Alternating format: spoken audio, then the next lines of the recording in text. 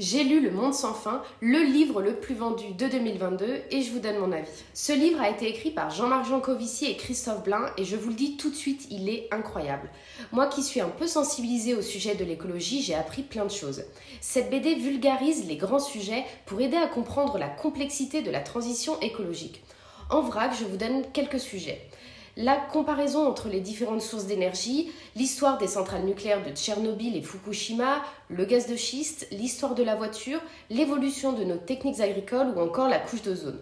Par exemple, il explique que lorsqu'on parle d'une augmentation de 2 degrés en moyenne sur la planète, en réalité ce sera plus 5 à 10 degrés sur le continent. Je vous laisse faire le calcul sur les températures moyennes d'hiver et d'été que vous aviez habituellement chez vous. C'est simple mais pas simpliste, le livre alerte sans être anxiogène, il montre la réalité de l'urgence climatique et propose des solutions à portée de tous. En plus, les dessins sont vraiment super et il se lit très facilement.